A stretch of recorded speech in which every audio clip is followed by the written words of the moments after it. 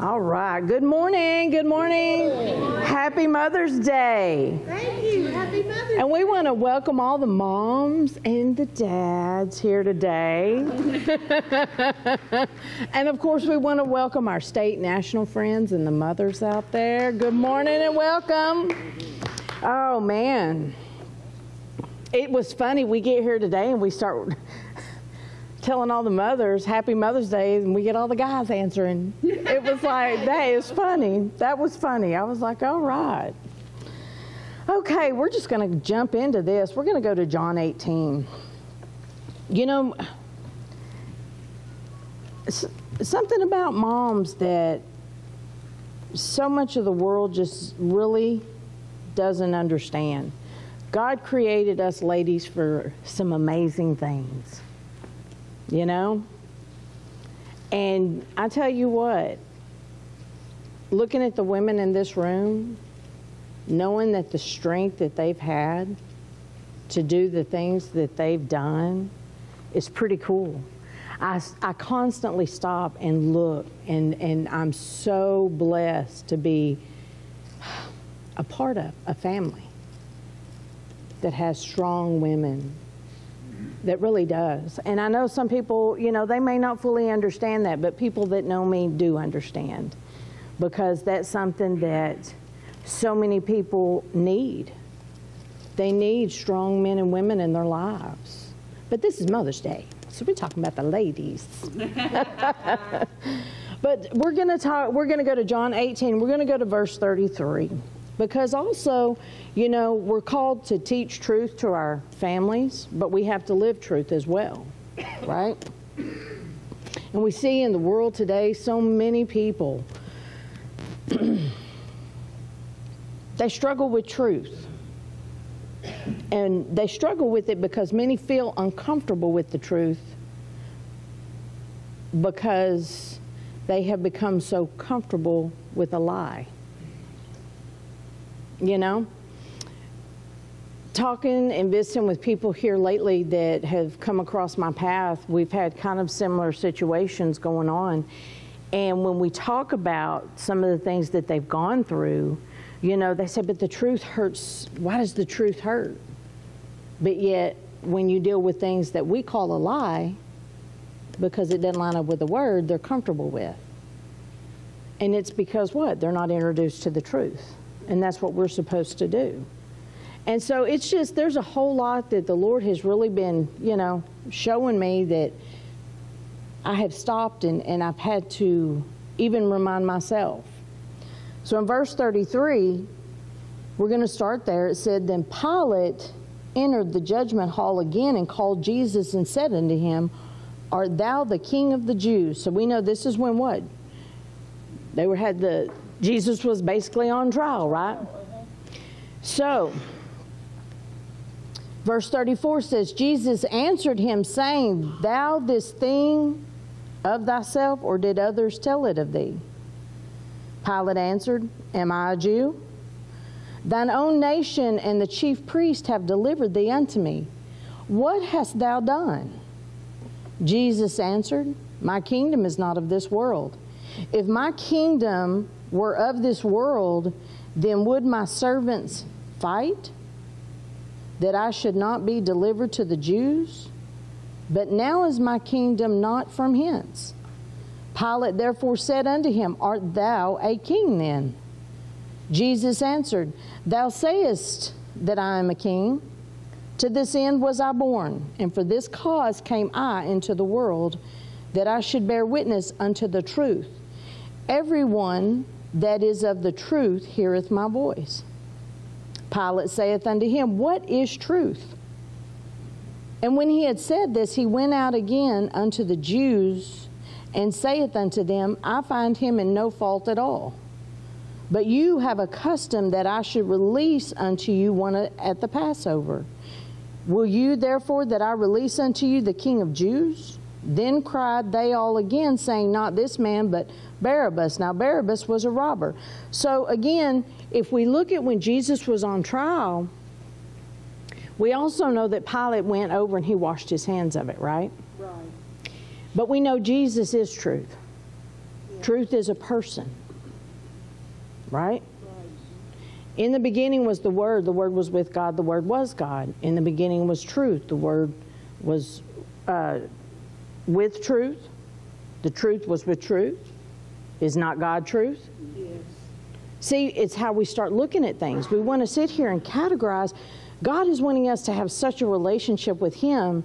We look at the relationships we have in the home, and they really can't be successful without a relationship with Him. You know who your mom is, you know who your dad is, you know they protect you, but do you really know that He is the greatest protector you'll ever have? Do you, do you really understand that when you do what He has taught us, what He has instructed us, then who's our protector? He is, right? So here we have a man that's sitting here and he's questioning Jesus. In verse 37, Pilate therefore said unto him, Art thou a king then? And Jesus answered, Thou sayest that I'm a king. To this end was I born, and for this cause came I into the world, that I should bear witness unto the truth. Everyone that is in the uh, that is of the truth heareth my voice. Again, Pilate saith unto him, What is truth? Didn't he just tell him what truth was? But he see, if you don't hear truth, you don't recognize truth. And the problem is, again, it goes back to where so many people are so uncomfortable with truth because they have become too comfortable with a lie. The world puts restrictions on what you can and can't do, or there's none at all, no boundaries, right? But Jesus, that's different. He says, I came to, He came to what? Bring us into a place of truth of who we truly are. And if we don't do that successfully, how can we help others? You can't. And it's interesting because of the circumstances that we've been going through. There's been a lot of people all of a sudden, and I talk about with the, the death in my family, all of a sudden there's a lot of death with people that I know just happening. And so a lot of questions are coming up. So, see, I look at every situation, Lord, what can I do? What truth can I bring in it for them? Right? And it's very interesting some of the conversations I'm having with people because they have fallen into what the world's teaching about the word that is not true. We do not turn into angels when we die. We do not get heavenly wings. Do you know that we're actually, if we say we're sons and daughters, then that's what we are. But so many people don't get that. Some people, they think, well, I'm going to go out, and is it wrong if I go out and I try to talk to them and I should expect them to answer? And I said, if they do, you better run because that's not them. I said, you know, I said in the Bible it talks about where the people wanted to, you know, we need Samuel. Samuel was dead. So he, they went to a witch and was like, hey, bring Samuel. And it says that, Sam, that he ascended. Well, uh, that's out, so out of order. That's your first clue. He ascended. That means he came up. Yeah. And so it's like, no, no. But it's, it's interesting the conversations that all of a sudden I'm having, and it's another ministry moment. See, our lives don't stop because of our situation and our circumstance. In fact, you got to be ready with whatever you're going through because something's going to happen and God will use you if you're obedient to help others. And I just find out that's where I'm at right now. Teaching people, you don't have to go out because you're hurting and you're going through what you're going through. Do you know? If they know, this is the biggest thing that I've, uh, one of the biggest things. It's like, but I mean, how do you know they know Jesus? And I said, Well, did you ask them? If they were there long enough, did you ask them? If they were, you know, present or if, well, I don't know. I mean, they were, you know, in this particular situation, then what was their lifestyle? Sometimes you have to trust it, but sometimes you know. And then we were talking the other day, and sometimes people like to put a time frame on how long they had to be a believer before they go to heaven. It's like, I'm sorry, you don't. If they accepted it, they accepted their salvation. They accepted truth. They accepted him as Lord and Savior. Then at that moment, what? Right? They're saved. But, well, but I don't get it. I don't get it. If, if that's true, then, I mean, but they didn't walk out that walk. And we've had these conversations. Well, maybe they didn't, but I am. Are you? See, it gives those ministry opportunities. People have gotten so caught up in these places that they don't, they get hung up in grief. They get hung up and the Lord began to show me it's like whenever you sit there and you, you know, the Bible says that we're to die daily, right? We're die to, self, die to self daily, correct? Why do people struggle with that? And one of the things, not the only thing, but one of the things I thought was interesting because people have an image of what that looks like, and because they don't know what it's going to look like when they do, they're, they're afraid. They're afraid of change. They're afraid of those places. And it's like, no, let it go. Because whom the Son set free is what? Free indeed, but they don't know what that freedom is because it's really not being taught. Not, not like it needs to be. And that's what about here is so beautiful. Because we dive into things, but we don't go so deep that people are like, what? We don't get it. You have to know what's for the body, right? Some people like things real simple, and that's good. Some people, they want to dive deep. But I like here, God knows where everybody's at. And the truth can't be compromised because the truth is what? It's solid, it's constant, it's absolute. People always say, well, you, they've compromised the truth. How can you when it's solid? No, you compromised. Right. Right. You compromised. And that's hard to hear sometimes, but that's the beauty about truth. When you hear truth and it stirs you up, know that oh, if I'm uncomfortable with truth, that means I've become too comfortable with something else, right? Right. Everybody good? Yeah. Okay. Now, here's what's interesting. When you go back and you look at Pilate, Pilate literally rejected truth. Truth stood before him, and that was Jesus himself. Did he not? And did he reject him? He didn't want to have anything to do with it. He knew what the truth was, but he didn't want to be a part of that. So what did he do? Well, your your traditions, your culture, you're this, you're that. We'll put it off on somebody else, but it still falls on you if you know truth and you want to deny it. He should have stood up.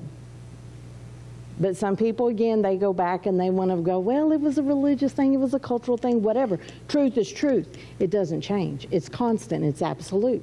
So he did what? He denied truth, he rejected truth, and truth stood right there before him. Interesting, huh? We see those things, and, and, and it really made me stop and go, you know what?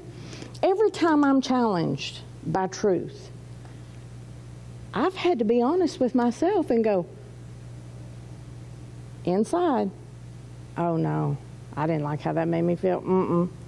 What did I immediately do? I denied truth. I rejected truth. And people struggle and they're like, well, what does that mean? In that moment, I rejected Jesus because he is truth, right? And this is the thing people sit there and you try to bring them out of those places that they have fallen into with wrong information or they've fallen into based on tradition and religions that I'm still, it's funny how you talk about membership Sunday. Is that right? i am like, what is that? what is that? I've never heard that. I'm thinking, what did I miss? Because sometimes I find out that there are things that he knows Farron knows, others know about certain things I don't know about. Because I'm like, I don't go and I don't dive into those things. Some of it's just from experience, just being in and out of the church through different, you know, God has you in one church and different church arrangements, I guess. And some of that I don't know. So when I do, sometimes it makes me feel bad. That time I'm like, I don't know what that is. And then when I hear others go, we don't either. Okay, good, good. I thought it was just me.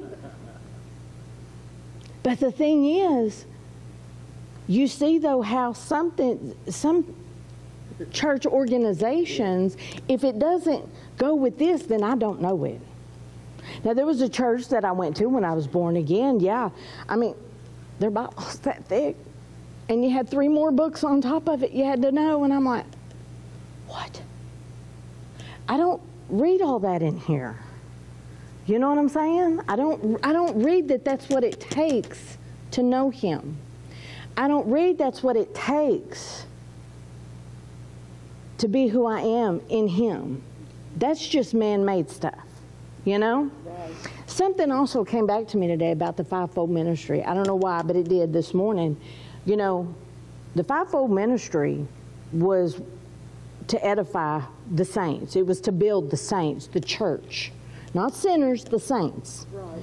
because of the gifts.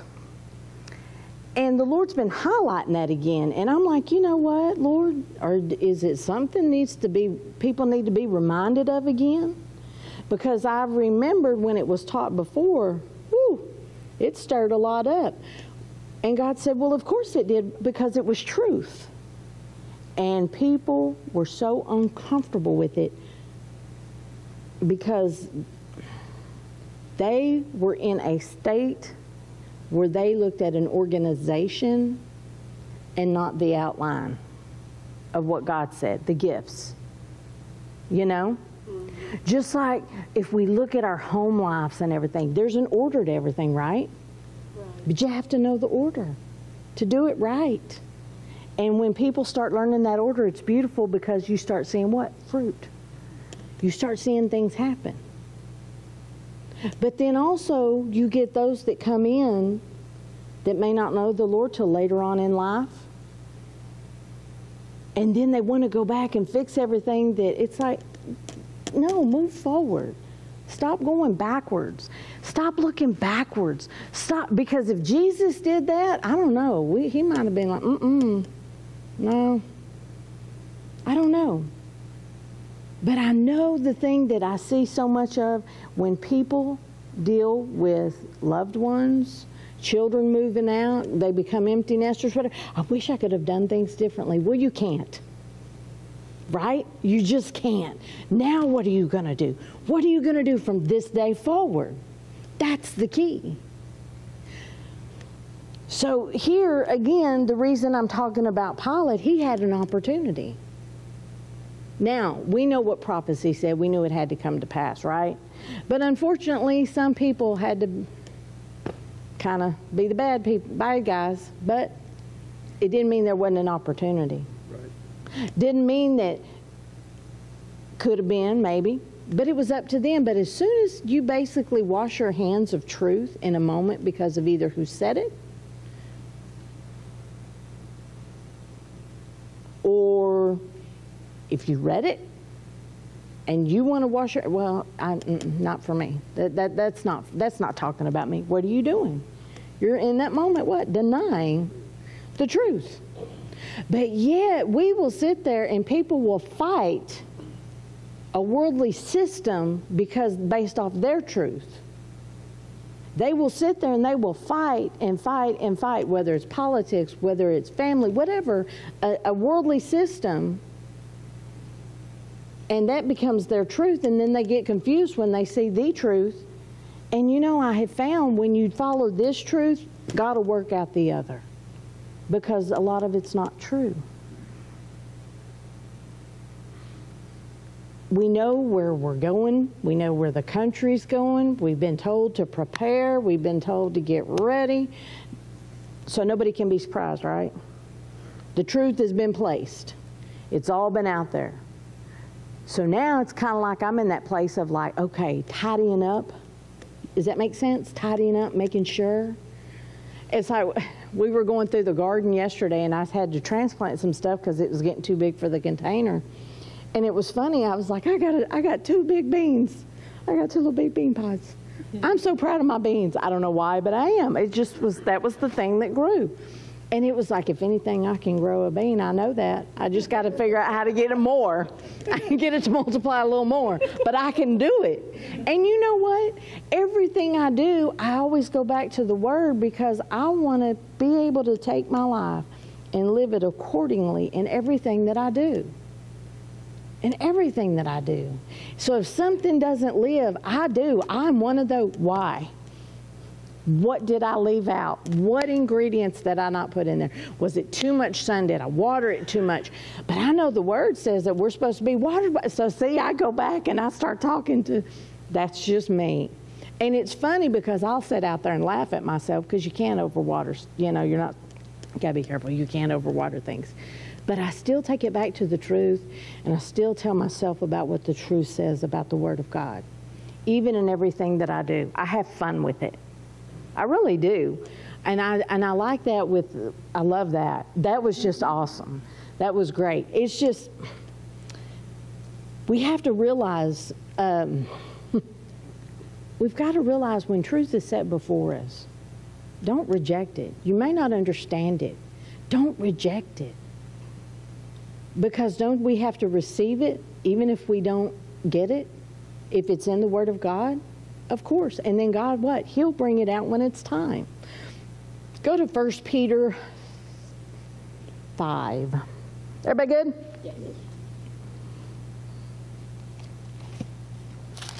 Because I'll tell you something else too, and this is something I also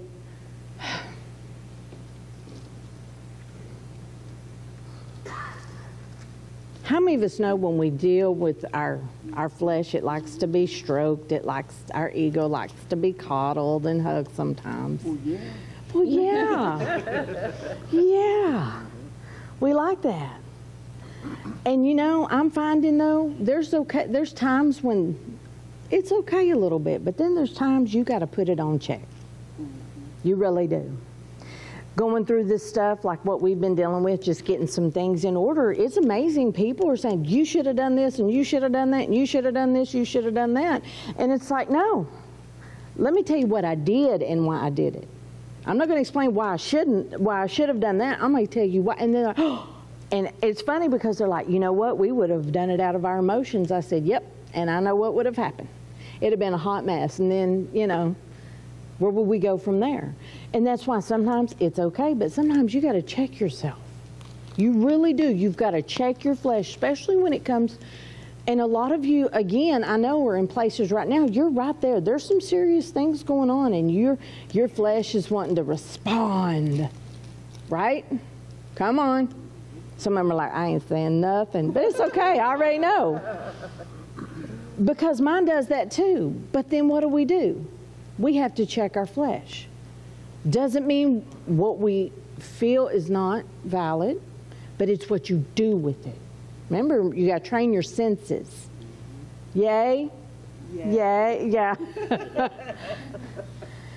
All right, so 1 Peter 5 1. It says, The elders which are among you I exhort, who am also an elder and a witness of the sufferings of Christ, and also a partaker of the glory that shall be revealed. Feed the flock of God which is among you, taking the oversight thereof, not by constraint, but willingly not for filthy lucre, but of a ready mind, neither as being lords over God's inher- uh, over God's heritage, but being ensamples to the flock. And when the chief shepherd shall appear, you shall receive a crown of glory that fadeth not. Now, this he's not talking to just leaders at that time. He's talking to the body of Christ. Is he not? You are called to be leaders of yourself first Come on. You can't. there comes a point you have to take that accountability because are you the one that gets you up in the morning? Yeah. Are you the one that gets you to church? Yeah. Are you the one that gets you in the Word? So you are taking leadership of yourself, responsibility. Then when you do that, then what comes next? Then comes your family, right?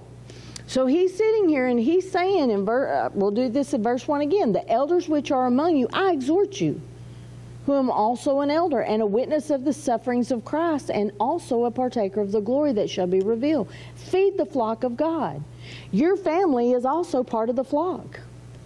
You, if your family's not always in the church, who's going to feed them if they don't feed themselves? You have to.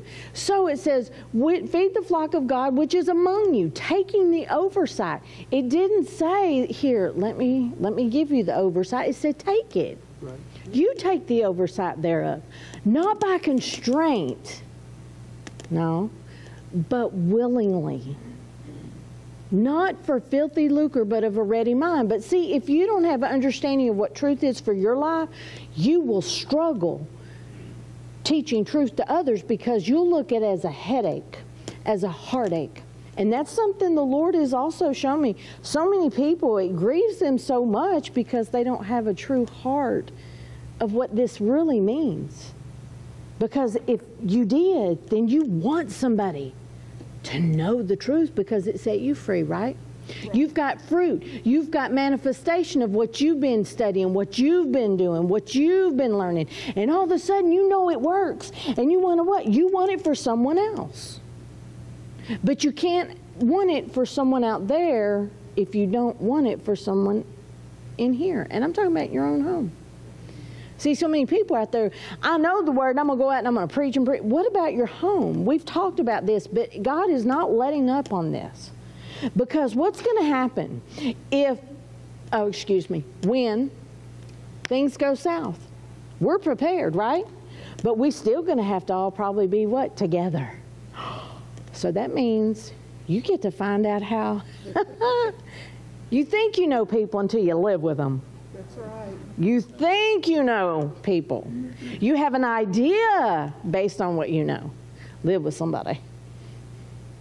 Oh, yeah, and you'll even find out a lot about yourself. That's right. You really will. so, this is why it's so important.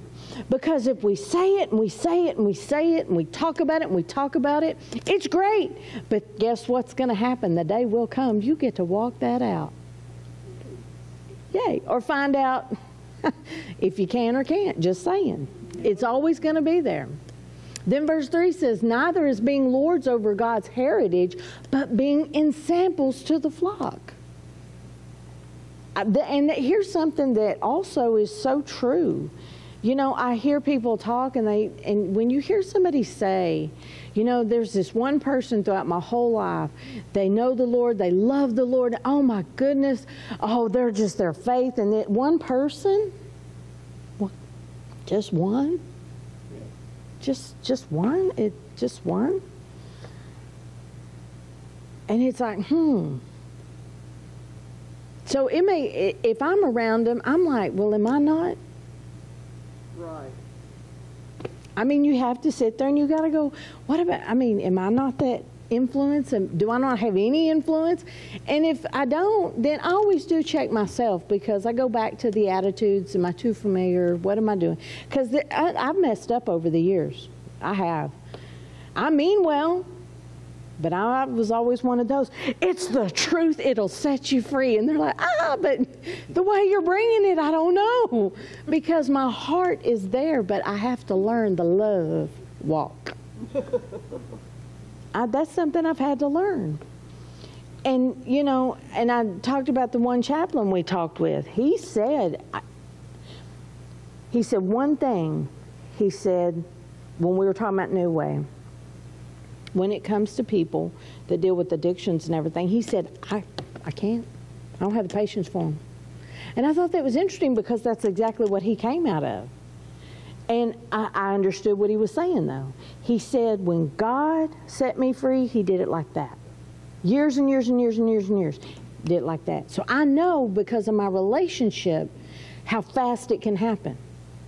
He said, and dealing with people that want to procrastinate or want to just keep lingering, he said, I, I struggle with that. He said, having the patience there, he said, when I know God can and people just don't seem to want it really like that. He said, It's just that's not for me. And I got what he was saying. I did, I understood it. But that doesn't mean that we still don't walk it out with people. But you have to know what people, who really wants it. If they really want it, that's different. It's the ones that, nah, they'll tell you they want it, but you know by conversations, actions, Facial expressions are amazing. they are. The noises are amazing. I heard that. And then they're like, what? So then he goes on and says, When the chief shepherd shall appear, and who's that? Come on.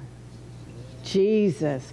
You shall receive a crown of glory that fadeth not away. So that's, he says, if you do these things, he said, man, you've got a crown. But what's the key to it? It's doing it because you want to do it. That's right. You're not selfish and you're not angry about it. You're, oh, God, you put me here. That's why, you know, in the beginning, what did Adam say? He said, This woman you gave me? Mm-hmm. I'm like, Oh, you done messed up. See? Done messed up. So that doesn't work for us now, by the way, because we're born again. we new creatures in Christ Jesus, right? Yep. Yeah. Yeah. See, that's something else too. It's interesting seeing where quotes are made. I, I I'm one of those. It'll. phew. I'm like, what? I don't. That's not what that says. But you know, people take funnies and make funnies, and I, I'm I'm one of those. I don't have a clue, and probably insult me, and I wouldn't ever know it. I'd be like, what? I don't get it. I don't get it. Some people do. They love that. I'm like, ah, what? And of course, I laugh at myself because I'm like, why didn't I get that? Why didn't I get that? It's like, eh, okay. So I could be insulted many times and probably not know it. probably not know it. So it says, likewise, you younger. Now I like this. It says, likewise, you younger, submit yourselves unto the elder. Yea, all of you be subject to one another and be clothed with humility, for God resisteth the proud and give grace to the humble. And when you look at the words, submit yourselves and subject, they're the same thing. It's the same word. It means to put under, to obey, be under obedience, make subject to, submit yourself to. So likewise, you are, submit yourselves unto the elder. It's not sitting here and saying that you have to be enslaved to them, but it means you're humbling yourself enough to them because you know what? If we're the body of Christ, we all supply something, right? And he says, submit yourselves unto the elder. And sometimes when it talks about the elder, people go, yeah, you're elders. But it also means the ones spiritually mature too. That doesn't mean they're older than you, but they can be more spiritually mature. But see, we've got to get past those places of like, well, I've done this this long and this long done, I'm this and I'm this. See, what, where's the key thing? I, me, me, I. See, and, and mothers in here, you know, when it comes to kiddos, is it about you? No. It's about what? It's about the children, it's about the family, you know? So here it says, Yea, all of you. It didn't say, okay, youngins. It says all. Now it did talk about the younger above it, but then it says, Yea, all of you be subject to one another and be clothed with humility. Well, if you're clothed with something, that means what? You wear it all the time. You wear it all the time. And I tell you what, I, the world is so prideful, so arrogant, so conceited. It's all about me, what I believe, what I want, and that's not what the body of Christ is supposed to be about. Know who you are, right? Now it's saying you do this with the body of Christ. You don't, not the world. Know who you are in Him. And and that's where I was talking to somebody the other day, and they we were sitting there and talking about the law and this stuff, and it's like, that's man's law. Well, you have to obey it, and I said no because I got something that'll break that law. And I go back to the Constitution on things. I said, it was founded based on this. This is what it says. So if that's what it says, then I go by this. And they're like, well, oh, but no, that's man. No, that that that's not what that's saying. And here, and it can be come into a debate over this. And people will sit there and what? they will get upset because what's the first thing we usually hear from the world when it comes to us? Well, you're supposed to love. You're supposed to be kind. You're supposed to be this. And really? How do you know what I'm supposed to be? I know who I'm supposed to be, and I'm not supposed to do what the world does. I'm not supposed to be like the world. In fact, I shouldn't even look like the world. And if I do, something's wrong. Something's wrong. And so it's interesting, again, the debates that come in on that, even when it comes to homes and parenting. My children are first. You're out of order. Right. Sorry. Well, uh, uh, no. If you go according to what the Bible says, it's God and you, your spouse, then the children. There's an order.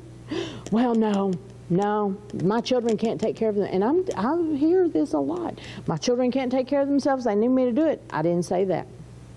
What I'm saying is when you put them over everything else, when you put them over everything, first off, talking with someone the other day, their health is declining. And I said, why? Because they're too busy. Well, I've got my children to take care of. Well, what are they going to do if your health keeps declining and your faith isn't there to believe for the wholeness that God has already provided and you've got children growing up in the household? So you're not doing the part for you. That's not selfish. You still have to do your part for you. But people can get that twisted and turned. And so now they're in a place they don't want to hear it. And I have to watch this. And it's somebody that I love very much. And it's like, okay, well, I'm here if you need me. But that's where we're at. Yep. You know, and it's hard. It's hard. And people think, well, that's cold and that's, uh, no, it's not cold. It's truth. And that's something else I find interesting too is whenever you walk in truth and people are like, why aren't you broken? Why aren't you devastated when there's a death or something? I say, why should I be? And I ask them, why should I be? But that was a loved one. You know what? I died too, and I darn sure am not grieving over that one. I'm celebrating my life, just like I'm going to celebrate theirs, regardless if they only had 10 minutes of it. It don't matter because I know where they are, and I'm celebrating that.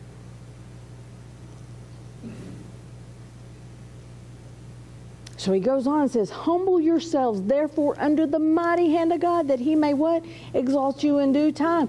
So there's a promise right there, right? Isn't that a promise? Yes. But again, we have to what? Humble ourselves. Doesn't mean you're a doormat, right? Right. Doesn't mean you let people walk on you. But what's beautiful about the body of Christ, instead of getting so angry about something you don't agree with, why don't you just sit down and talk about it? Right? But see, that also shows you when you're dealing with flesh and you're dealing with carnality and you're dealing with selfishness, you don't want to talk about those things. But what do, what do we try to do as parents when we have our children? Teach them what? Don't be selfish. Share. Sharing is caring. and you, what do little kids look at you like? Mm-mm, no, no. You made that up. How many of y'all know that? You know it. But the thing is, when it comes to the body of Christ, that's exactly what we should be doing. We should be able to sit down and have these conversations, talk about these things, and, and hear why we do the things that we do. You know, you can fall into a place, as we call a rut, if you choose to, but if you don't want to, you don't have to. You know what I'm saying? Mm-hmm. Because we're coming into a place again, we got to be strong. We got to be courageous. I believe the Bible tells us that, right? Be bold. Right? Yes. And then he goes on, he says, casting all your care upon him because why? For he cares for you. He can have my cares. I don't want them. They weigh me down too much. But how many of us, we don't pay attention when stuff starts weighing us down? And then we get caught up in it. And, it, and the word when he says to be casting our cares, when you cast something, it means to cast upon. And the only other time that was used in Scripture, whenever they brought the donkey and they were the one that Jesus was riding in, and they cast the things upon the donkey. That's the only other time this was used. But it, go back to seven. Casting all your care, all of it. When you cast all your care on Him, means I trust you, the truth, to show me what I need to do, what I don't need to do. How many will try to fix something on their own? But yeah. I got a lot of yeah. and when you try to fix things on your own and you really don't do this right here, it's not saying that you're not capable of doing things. That's not it. That means I can't do this, and so I'm casting on you and I'm trusting you with it, not me. But we tend to not want to do that. We want to try to do it ourselves. But he says, No, I care for you. I, let me help you with this. Let me show you. Let me guide you. Let me lead you. But until you do, I can't do anything. Right? But he didn't say just some of it. He said, what? All of it. And that's a big thing we talk about even in New Way is we talk about this right here is people have to understand if you don't give it to him, you can't get from him. Right?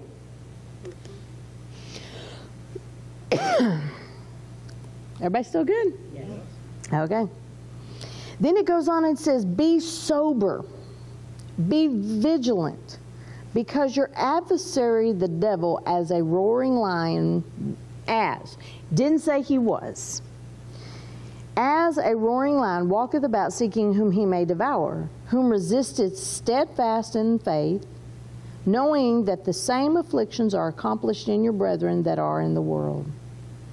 And the afflictions are talking about your emotions, it's talking about your influences. So he says, Whom resist steadfast in the faith, knowing that the same afflictions are accomplished in your brethren that are in the world. But the God of all grace, who hath called us unto his eternal glory, by Christ Jesus, after that you have suffered a while, make you what? Perfect, establish, strengthen, settle you. To him be glory and dominion forever. Amen. So again, he says you're going to go through stuff.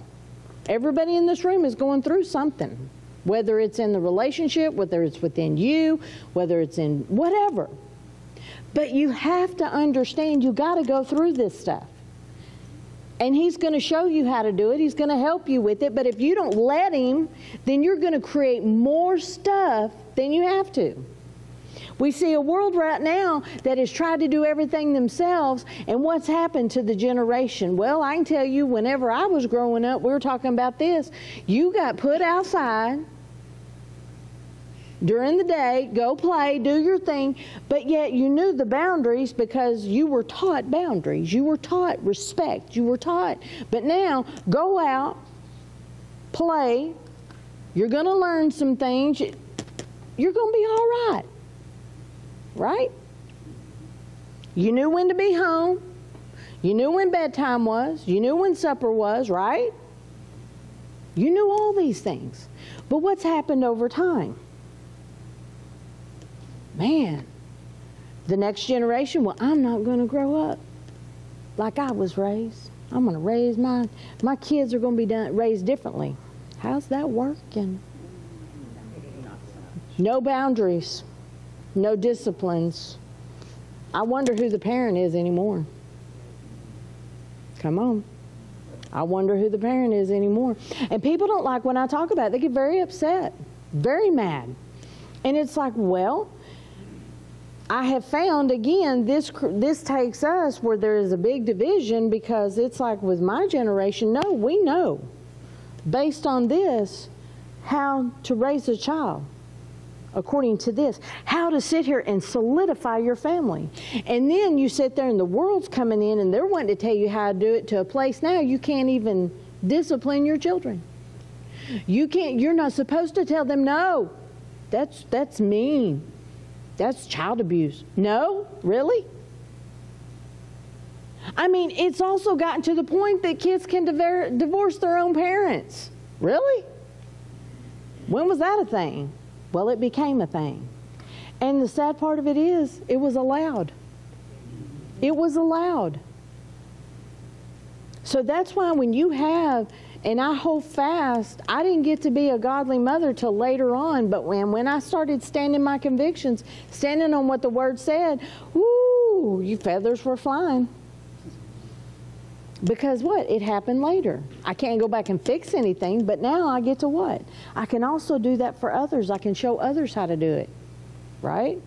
Teach others how. It's not too late for who I am just because I didn't come to the Lord till I was grown.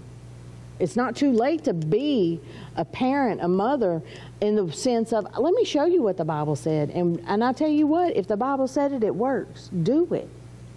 Well, then I've done this. I've raised my child this way, and now all of a sudden they're out there acting this way and that way. Well, you know, they're going to try that, okay? But don't give up. Find your scripture, find what God said, and that's what you hold fast to. The world is not more powerful than the Word. Come on. If God gave you a word on it, that it's done. Right? God gave me a word about my family. I prayed for years that none of them, none of them will go to hell. I did. I prayed that and I prayed it and I prayed it and I said, Lord, that's my prayer. I didn't even pray that they walked their their purpose out. I just that was all I knew. I got a word on it. God gave me a word. Some things I didn't like, some things yeah, I'm good. His word doesn't change. It's what people choose to do. And I had to learn that. Because some people choose something else. Some people choose another way right? But the thing is, with my immediate family, guess what? I believe they're in heaven. Maybe they didn't walk out their purpose, but that's what I. But I believe they are because they accepted Jesus at that moment, that last moment, and I trust God in that. Now, when I get up there, if things are different, okay. But I know what I believe according to this. See, I can't see it, can I? Can I just run up there and just say, hey, are you here? no. But what I can do is trust this. And no matter what the situation, circumstance ends up being, I'm still trusting this and doing what I'm supposed to do, trusting what I'm supposed to trust. Because God said He and only He would never leave me nor forsake me. That's what he said. And that means if I rely on people to never leave me nor forsake me, I might be disappointed. I trust that he in them is greater than themselves. Just like he in me has to be greater than me. You know? But right now, the enemy has come so much in the family dynamic, and we've seen the condition of it. But now I'm watching people that are in the church rocking because what? Oh, wait, there's a little disturbance in the family. Well, you got the word, it works. And the only one promise that won't leave you or forsake you is Him. So, hey, you got to stand strong on that. That's what I need. And God, you work out the rest. It says, verse 11, to him be glory and dominion forever. Amen? Does that mean it's always easy to deal with when you have children that don't want to follow what you know is true, what you know is right? It's hard. It can be hurtful. Grandchildren, whatever, it doesn't matter. But you know for you what is solid, and that's Him. That is the truth. And that's the truth that will set you free if you allow it, if you trust it. But if you keep looking to man for your truth, it's going to disappoint you every time. It really will. If I look to my, okay, I'm going to be honest with my about me. When I look to my when I get to the place I look so to myself that oh okay, okay, I, nope, I'm this is truth, and then I start looking at me as being the truth. I usually find out ooh, I didn't have all truth. It's not that I didn't want truth, but see, I can't be unteachable. I can't stop learning. And when I think I got it, I find out I probably don't. I got some of it, but I don't have the fullness of it. Every time I go back and I look at truth and I see truth as the person that walked on this earth, truth himself, no lie within him. Man. And it says that the enemy is what? The father of what? Lies. He's the father of all lies. So whenever I see Jesus, whenever I see the Word of God, that's my truth. And that truth walked, he submitted to his parents. Remember when they couldn't find him after they came back from the temple and they went back looking for him, and then when they finally found him, he was what? He was about his father's business. But then it goes back and it says, though, that he submitted. When he got back after he said what he did, he did submit to them, talking about his parents. So Jesus even, I've heard people try to say, well, see, look what Jesus did. He went and he preached when he was 12. He did this, he did that. Oh, yeah, but let's go back to the next part. There wasn't nothing that we don't live out that he didn't do or show us how to do it. And it said that he even submitted to them when he came back. He said, okay. Doesn't mean it suppressed who he was. That's not what that was about. See, sometimes people think, well, there's been a, we've talked about this before. I've, over the last few years, because I was big into traveling with ministry, going to conferences, doing all this, and I felt like over these last few years, it's just, that's not happened. It's like all of a sudden, that's all stopped. And it was something I was so used to. But see, sometimes God needs to get you set. He needs to get you planted somewhere. It's like, no, that's all good, but that, that's done. That doesn't mean it won't come back later, but that part's done. You need to come where I'm telling you to come, and you need to stay there and see what God's doing. And the thing is, so many times people had the misunderstanding oh, well, God's called you to go and teach and this and this, but He did more than that. He also called me to sit down and hear truth that nobody else was speaking. He called me to come and sit down and be a part of a truth. And I said, truth that I, I, I was reading, but I wasn't hearing nobody preaching or teaching. But I was reading it, I was hearing it, and I was like, okay. And then when I would ask questions, then what? Nobody would explain it. Nobody could explain it. And it was like, oh my goodness, Lord. But see, I come here, and now it's pretty cool because I, when we flow, all flow together, you'll find that all of us are on the same page somewhere. Your scripture may not be mine, but then again, it could be. Or God could be showing you something and then here's the scripture you need. I love it. That's what a body does. My toe don't always know what my finger's doing, but it's still in sync together because what? It's moving. It's going forward. Right? Everybody good? Yep. All right. Uh, let's see.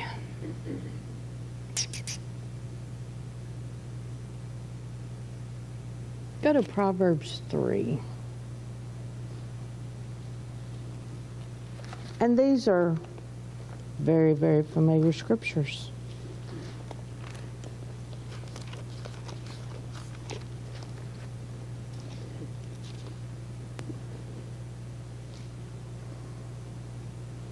Verse 1.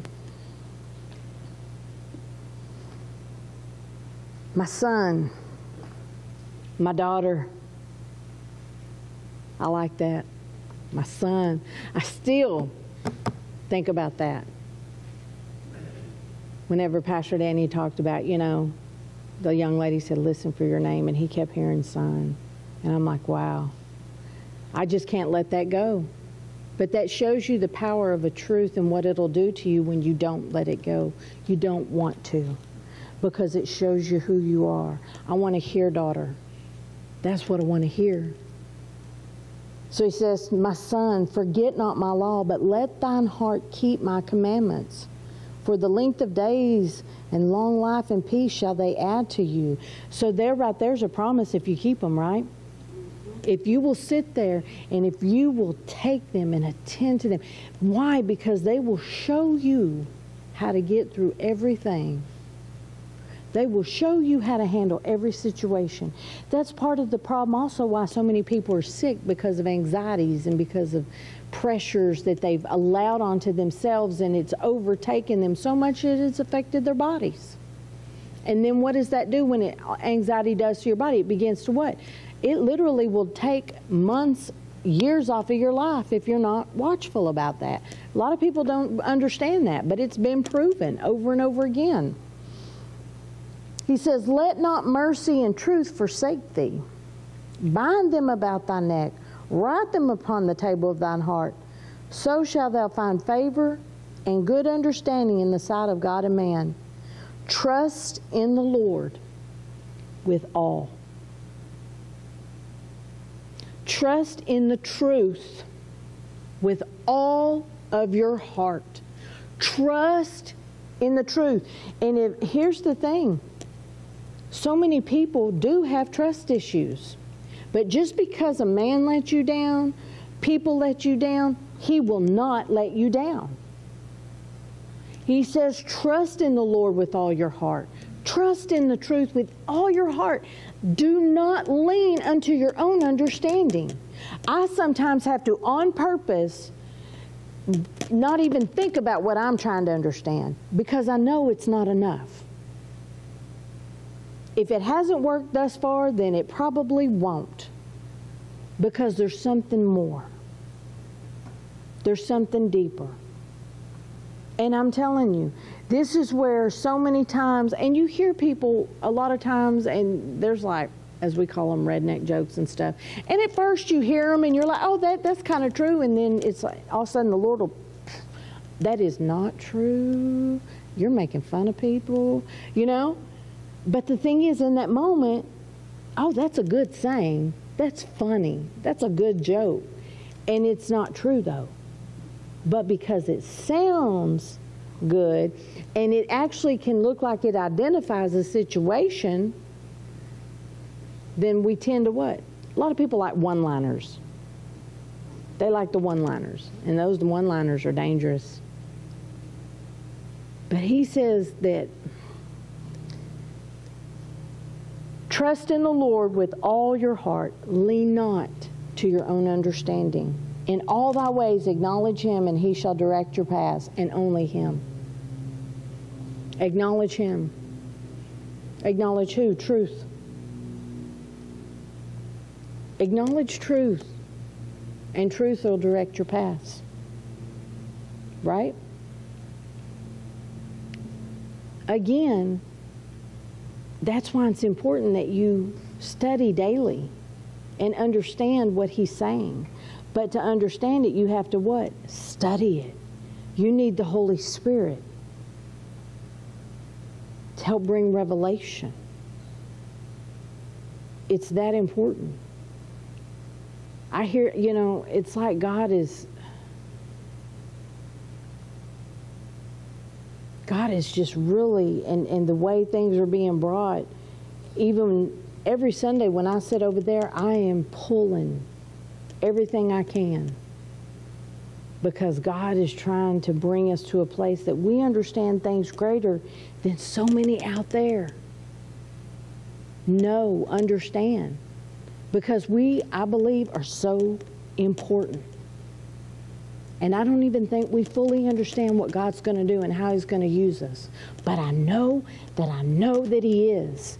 And it's not just for this body right here, it's for greater. And I know we keep talking about it and talking about it, but we have to keep, we got to keep talking it up, as they say. Because why, if you don't, how are you going to get it in you? How are you going to keep okay, there must be something to this. Yeah, we're going to bring it this way, we're going to bring it that way, we're going to bring it this way. If it's truth, then it's got to keep coming. You know, so many times people want to sit here and they say, well, we want to hear something new. We hear, we talk about that. There's nothing new under the sun, right? You want to get away to something new because maybe you're uncomfortable with what's being spoken right now. And you gotta you gotta check yourself on that. And you gotta find out, Lord, what do I need in this? Right? Be not wise in your own eyes. Fear the Lord. Depart from evil. It shall be health to thy navel and marrow to thy bone. Again, so what are you saying? I, I'm, I'm sitting here and I'm practicing evil. If it is not truth, then what is it? It's a lie. And what is that? Evil. There's things that I find that as I grow more in the Word and more in the Lord, I'll find out, oh, that's evil in His eyes. I can't watch that no more. Or it may be things that I'm reading, whatever it is. It, is what it is, and that's just what I have to accept it as. So that what? Truth can set me free. So that I can what? Go to the next. Again, it comes for me, it's conversations. A lot of people can cut jokes and say things, and I used to could do it too, but I'm like, I can't. I don't. I want it to be so foreign to me I want it to be so foreign to me because the Bible says that we're to edify one another, right? We're to lift up one another. We're to build. We're to come up, one, you know, help. And sometimes some of the things that I hear, I'm like, ooh, no, no, mm-mm. And I want to get away from that. That should be how real this is in our lives. And that's First off, you're the leader of yourself. You're the one that leads you, right? You're the one that goes, see, again, everybody go, I got the Holy Spirit leading me. Yeah, but you got to go connect with Him. You got to lead yourself to Him. You've got to go to the Word because the Word can't talk to you and the Word can't, He can't even move. The Holy Spirit can't reveal anything if you're not leading yourself to the Word. So again, this goes to a place of we can't put it on others. Right? Right. So the last one we're going to go to, and I'm going to close up, go to 1 Corinthians 10 13. I talked about this Tuesday, and I didn't quote it quite right, so I'm, I want to go to the scripture. 1 Corinthians 10 13.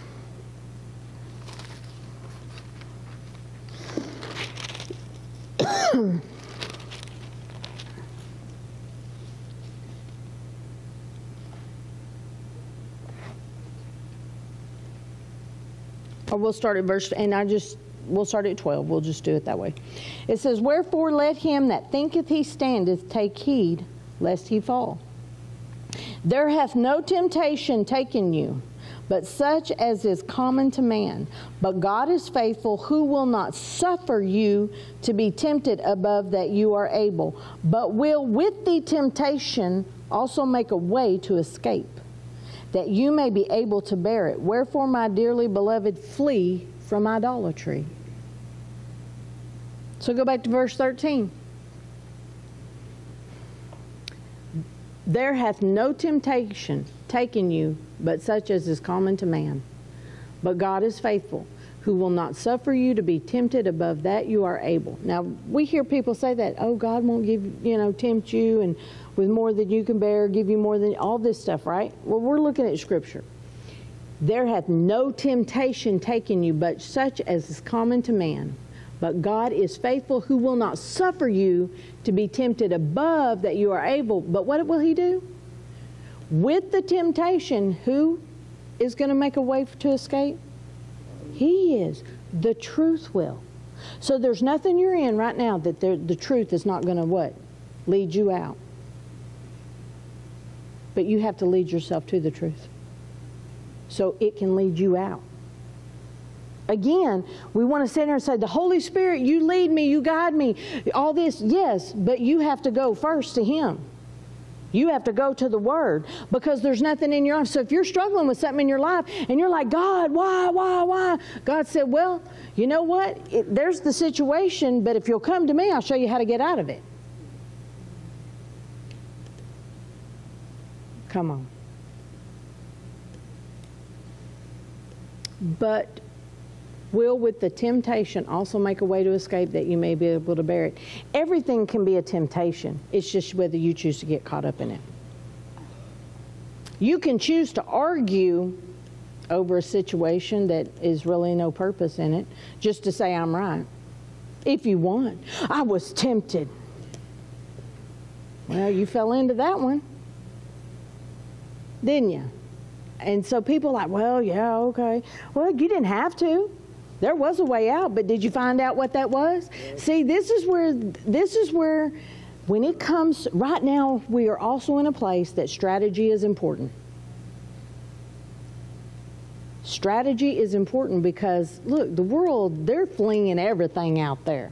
Well, if we can't get somebody this way, we're coming this way and we're coming this way and we're coming this way and we're doing stupid here, we're doing stupid there. I don't want to fall into that. So I choose not to deal with all that. But if I hear something catches my attention, I want to know okay, if that's the temptation and that's what looks like it's coming, then I want to find a way out. I'll give you an example. COVID came. We were talking about this the other day. COVID came.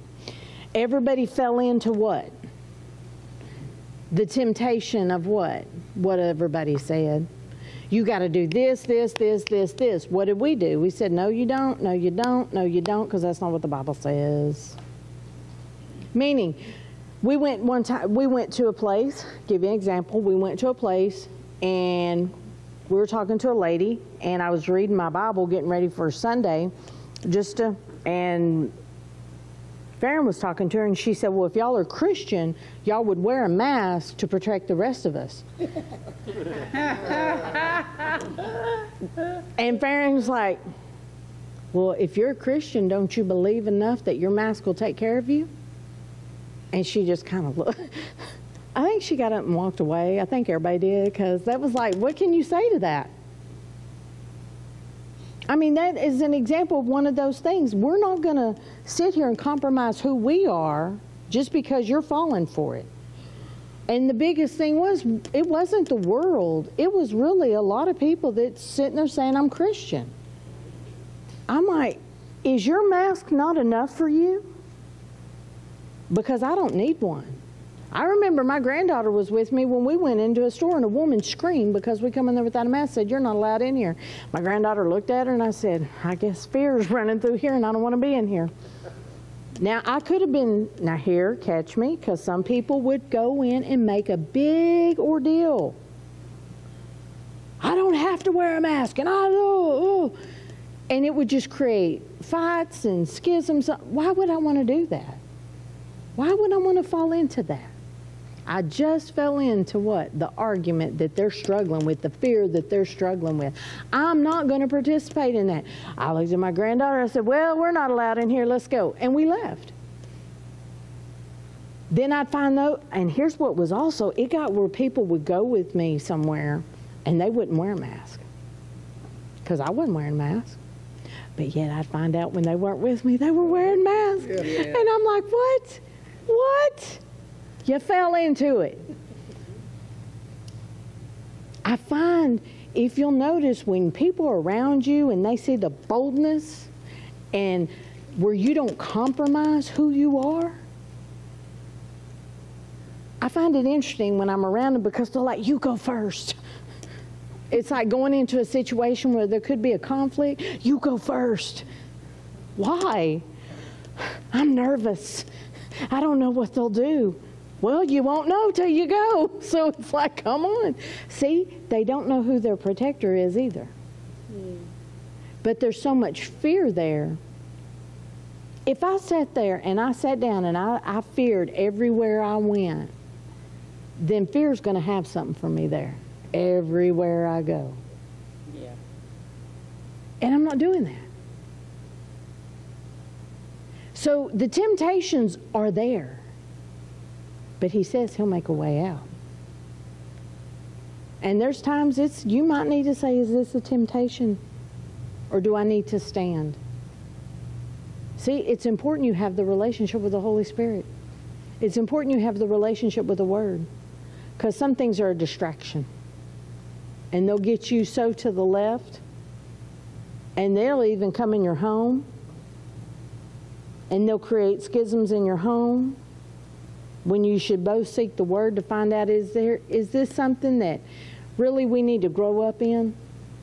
We need to come and grow and stop trying to fight like little kids about it? I'm right. No i'm right. No i'm right. I'm right. I'm right. What's the temptation? See who's right. The word's right. That's what's right.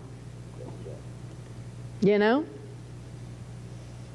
so understand, again, I know that I know that I know God is going to do something with this body right here that y'all may not know. I don't fully know, but I know it's important enough that He's been preparing us for how long, how many years? And we've just been walking along, not even understanding everything we're doing. Some things is just to show, will you do it? Will you just do it, not even understanding? And I'll make sure you have everything you need just to do it. And then you're like, okay, we're doing it. And it's like, hmm, why did we do this? Why did we do that? Don't know, but we'll find out. That's a key. That's a key. But how many things could have, okay? There were times in this walk in these last few years, and we've talked about this. Y'all know Pastor Danny, he's like, no, God gives him something. That's it. That's the way to do it. We're going to do it. We're going to do it. We're going to do it, right? It's in you. That's just it. So there's been certain situations that in the past that he'll come and he's like, man, God's talking to me, and I'm over going, oh no. That can't move him. If God is saying it, and we talk about this, and I'm learning this, this is part of us growing together. I'm learning sometimes, shh. Because if God has given somebody something and they know that's what's supposed to be done. Sometimes he's not asking your approval, he's just asking for the assistance to help get her done. Right? See, that's where, again, you've got to trust this. So here's what I do. And I've learned this and I try, have always tried to tell people this. Look at the fruit. It'll never let you down. If you struggle with a person being too familiar, whatever, look at their fruit. It will never let you down. I promise you. Promise. And that's one thing I like when I see people with fruit. Even if I don't understand what God's saying to them and I don't get it, I'm learning when to shh. They got fruit. I see it. Maybe I need to just be in agreement with that and let God show up in it. You know? Everybody good? All right. We're going to stop there. Dear Heavenly Father, we just thank you, Lord. Father, we thank you for family. Father, we thank you. You've chosen this family for such a time as this. Lord, you've chosen everyone in this room and that they accept the call, that they continue to seek truth they continue to have a relationship with the Holy Spirit for the revelation. That we never get too complacent, that we don't want to hear what the truth has to say. Because, Lord, we know it's the truth that breaks all bondages. It's the truth that brings manifestation. Lord, you know every situation in this place. And Lord, we stand on truth no matter what it looks like, no matter what it seems. We don't give up on we don't give up on truth. Because truth doesn't give up. Truth is solid. Truth is absolute. And it cannot be changed. So Lord, as everyone leaves, to enjoy the rest of their day with family, friends. Lord, bless each and every one. And Lord, that we hold fast that you have chosen us for something amazing and we continue to grow where we need to grow so that there is fruit that remains. And Lord, the skills that we don't even know we have begin to develop and, and grow. For Lord, that you get all the glory and you get all the honor. In Jesus' name, amen.